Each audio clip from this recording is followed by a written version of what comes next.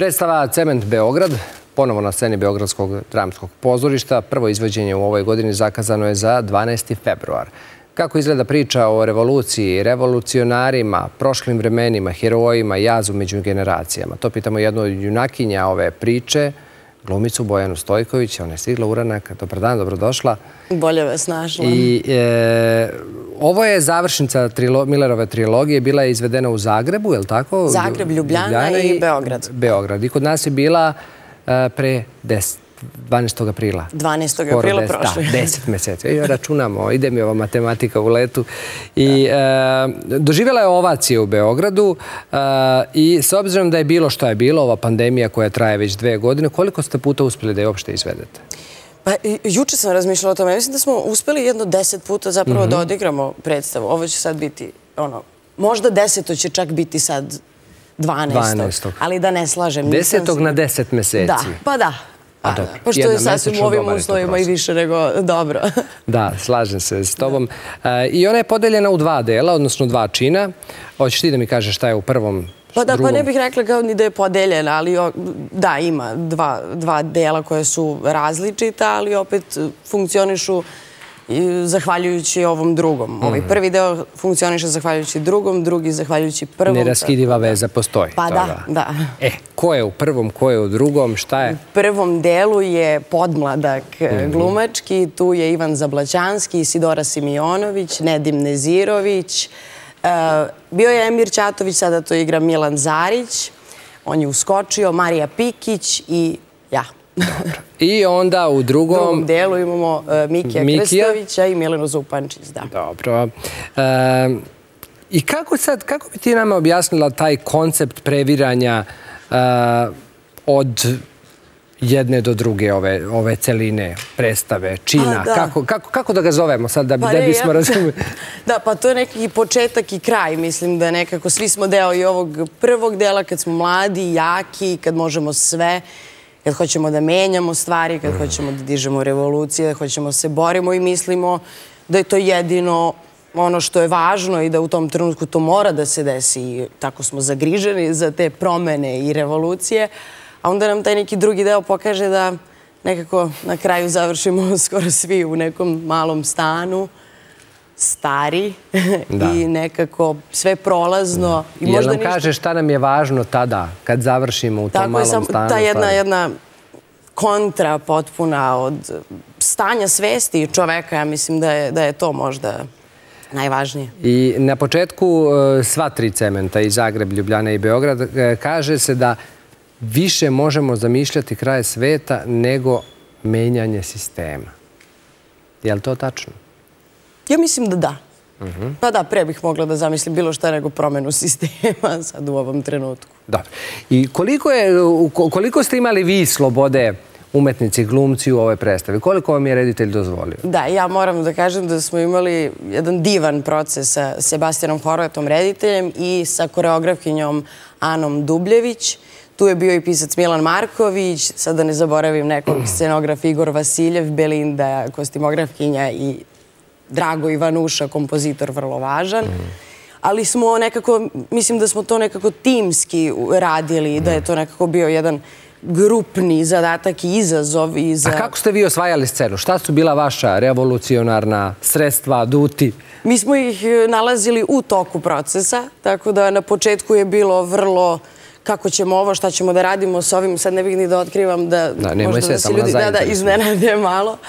Ali je nekako dosta na Ani bilo, toj koreografkinji koja je radila sa nama dan i noć. Mislim i na pripremi i fizičkoj snazi. E, kada bi sada e, neki radoznali se školac pitao tebe e, zbog čega bi trebalo da pogleda ovu predstavu, šta bi ti njemu rekla?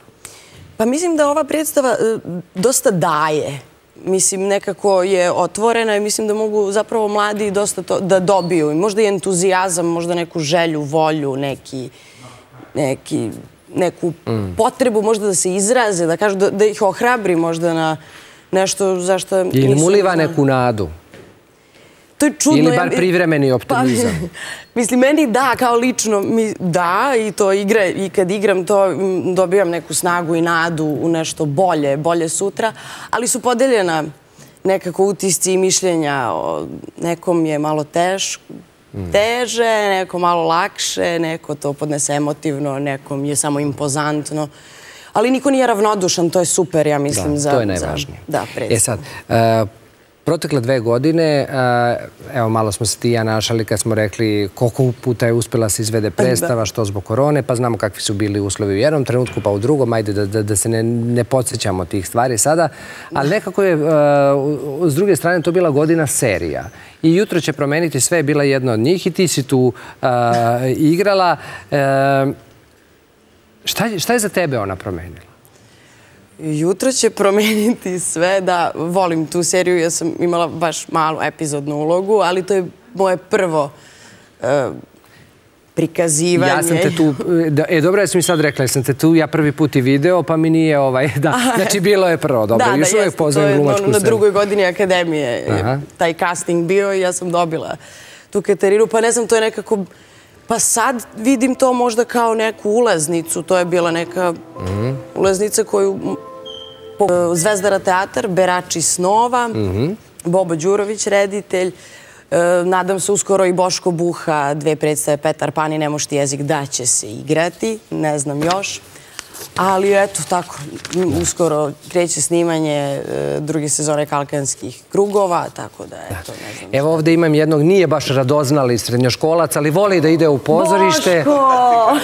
Drugari, ono liki, te pozdravim puno. Jedna od mojih omiljenih mladih glumica i drugara i osoba koja nam pa dolazi stalno kad god je potrebno. I moram ti kažem, ti berači snova u Zazara teatru, to je pokidala.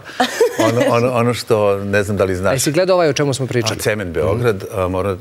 To je jedna, prvo za mlade, jedna predstava u kojoj je jedno istraživanje toga htenja, znanja, želja, moći u prvom delu kroz teatr pokreta, ali onaj drugi deo koji sam ja sagledao i posle koga sam rekao, znaš, tu je Miki Krstović i Milena Zupančić. Jedan real life, stvarni život, u stvarnom vremenu, ljudi od 75-80 godina i njihov jedan dan. Do kraja predstave ne znaš da li je demencija čini da oni još uvek misle da su zajedno ili više nisu zajedno. Ali toliko potresno da ti u 52. naprimjer kažeš jao, ja na posao više ne idem. Moram da proživim do 70. sve što treba. Ništa više ne rade.